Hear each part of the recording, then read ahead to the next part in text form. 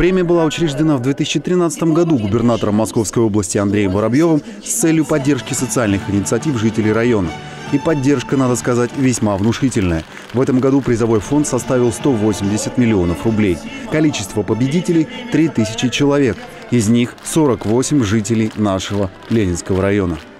Из 48 призеров 5 у нас номинированы на вторую премию и 43 номинированы на третью премию. Вознаграждение за вторую премию составляет 150 тысяч рублей, а за третью 50 тысяч рублей. И с этим я вас, уважаемые лауреаты, поздравляю. Однако, как отметил Олег Хромов, важен не столько денежный приз. Важен сам тот факт, что у нас живут такие активные, целеустремленные люди, которые хотят преобразить уголок родной земли.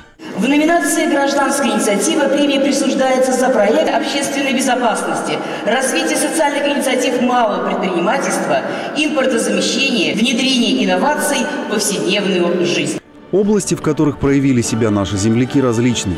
Это и проекты, направленные на организацию диалога общества и власти, и меры по озеленению и благоустройству придворовых территорий, и реабилитация освободившихся заключенных – и программа сохранения памяти о Великой Отечественной войне. Номинантов чествовали лучшие певческие и танцевальные коллективы района. Лева Шелест уже 4 года занимается в танцевально-спортивном клубе «Звездный вальс». По его словам, их коллектив не мог не выступить на этом мероприятии. Мы долго готовились поздравлять номинантов в этот день. Мы сегодня танцуем три танца. Это самбо, чача и джайв. Э, для нас, ну, для меня лично это честь поздравлять номинантов нашего района. Что же, итоги уходящего года подведены, награды нашли своих героев.